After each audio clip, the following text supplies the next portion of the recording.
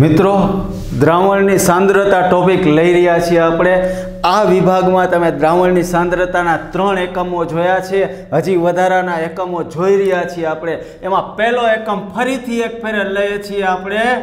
Mall અંશ. Mall અંશ એટલે શું?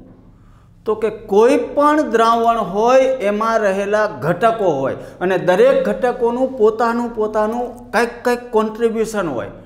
તમે કંઈક જમો છો તો ખાલી રોટલી જ નથી ખાતા. રોટલી અરે શાક, છાશ, દાળ, ભાત બધું જમો છો. તો બધાનું પ્રમાણ હોય છે. આ બધા દ્રાવણમાં તમારા શરીરમાં મિક્સ થાય છે અને એના ઘટકોનું આખું તમારું બ્લડ બને છે. મિત્રો, તો એ દરેકનો કંઈક કંઈક ફાળો હશે. તો દ્રાવણમાં જે ઘટક છે એના પોતાના મોલ હોય છે. તો મોલંશ એટલે શું તો કે કોઈ પણ ઘટકના મોલન્સ એટલે ઘટકના મોલ.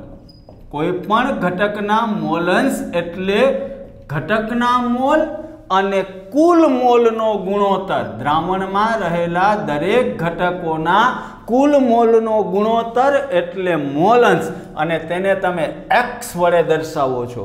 મોલંશ એટલે હું? તો કે દ્રાવણના કોઈ પણ ઘટકના મોલંશ એટલે તે ઘટકના મોલ અને કુલ મોલનો ગુણોત્તર. જેમ કે તમારી પાસે પાણીમાં ખાંડનું દ્રાવણ છે, તો ખાંડના મોલંશ ગોતવા માટે ખાંડના મોલ અને દ્રાવણના કુલ મોલનો ગુણોત્તર એટલે ખાંડના મોલંશ મગજમાં બે છે? આનાથી આગળ વધો. તો મોલંશનો સરવાળો, દ્રાવણમાં રહેલા દરેક ઘટકના મોલંશનો સરવાળો હંમેશા એક જ થાય. હંમેશા એક પાણીમાં ખાંડ છે. એમાં જો પાણીના મોલન્સ પોઈન્ટ પિચોતેર હોય, તો ખાંડના મોલન્સ એકમાંથી પોઈન્ટ પિચોતેર બાદ કરો એટલે પોઈન્ટ પચીસ હોય. આના બધાના દાખલા આપણે ગણવાના જ છીએ. એટલે દોસ્તો મૂંઝાતા નહીં મોલન્સ સમજાય છે? તો આગળ વધીએ છીએ જે ખૂબ જ મહત્વનું છે તમારા માટે મોલારિટી. મોલારિટી એટલે શું? કાંઈ નહીં. એક લીટર અથવા એક ડેસીમીટર ઘન, આપણે ડેસીમીટર ઘન શબ્દની બદલે અત્યારે આપણે મગજમાં એક લીટર દ્રાવણ રાખીએ છીએ. એક લીટર દ્રાવણમાં, એક લીટર દ્રાવણમાં ઓગળેલા એક લીટર દ્રાવણમાં ઓગળેલા દ્રાવ્યના મોલને દ્રાવ્યના મોલને, દ્રાવણની મોલારિટી કહેવાય. તો આનું સૂત્ર શું થશે? તો કે દ્રાવ્યના મોલ છેદમાં દ્રાવણનું કદ દ્રાવણનું કદ લીટરમાં. મોલારિટી એટલે એક લીટર દ્રાવણમાં ઓગળેલા દ્રાવ્યના મોલ. આનાથી વધારે એક મહત્વની વ્યાખ્યા છે તમારા માટે મોલાલિટી આને તમે કેપિટલ એમથી ઓળખો છો મોલારિટીને. તો મોલાલિટીને સ્મોલ એમથી ઓળખીએ.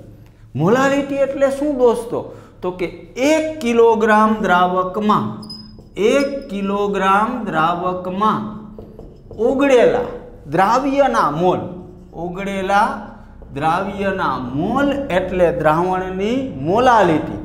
આનો એકમ વિચારવા જાઓ તો મોલ પ્રતિ લીટર એમ આનો એકમ વિચારવા જાઓ તો મોલ પ્રતિ કિલોગ્રામ મોલ પ્રતિ કિલોગ્રામ. મિત્રો, જો આ બધાય વ્યાખ્યા સહિત, સૂત્રો સહિત મગજમાં ચડી ગયું હોય, તો આના દાખલા તમારા માટે ખૂબ જ ઇઝી થઈ જાય.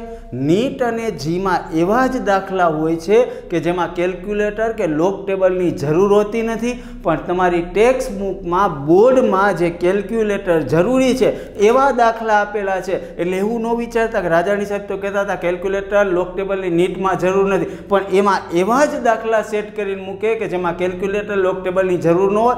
ફક્ત રાજાણી સાહેબના મગજ પ્રમાણે તમારા મગજને હલાવવાનું હોય છે. જ્યારે આ દાખલામાં તમારે કેલ્ક્યુલેટર વાપરવું પડશે. કારણ કે આમાં અતિશય એવા દાખલા આપ્યા કે જેના છેદ ઉડતા જ ન હોય એવા. તો એવા ટેક્સ્ટબુકના દાખલા આપણે લઈ લઈએ છીએ, સ્વપ્રયત્નના દાખલા લઈ લઈએ છીએ અને પછી સ્વાધ્યાયના દાખલા તમને આ વિડીયોમાં દેવા છે, મારે દેવા છે. હા કે ના, તમને ગમશે? યસ, ગમે જ ને, રાજાણી સાહેબ. અમારે હવે બીજી કોઈ ચોપડી વાંચવી જ નથી. તમને જ વાંચવા છે. મોલન્સ એટલે તમારા મગજમાં છે ઘટકના મોલ, છેદમાં કુલ મોલ. મોલારિટી એટલે શું? તો કે દ્રાવ્યના મોલ, છેદમાં દ્રાવણનું કદ લીટરમાં. અને મોલાલિટી એટલે શું? તો કે દ્રાવ્યના મોલ અને દ્રાવકનું વજન કિલોગ્રામમાં. તો હવે જલ્દીથી તૈયાર થઈ જાઓ નોટ અને બોલપેન લઈને. હવે રાજાણી સાહેબ લઈ આવે છે. આના પછી નેક્સ્ટ લેક્ચરમાં દાખલા દાખલા દાખલા. કેના દાખલા? તો કે સાંદ્રતાના જ દાખલા. કેના દાખલા? સાંદ્રતાના. ઓકે? બરાબર છે ને?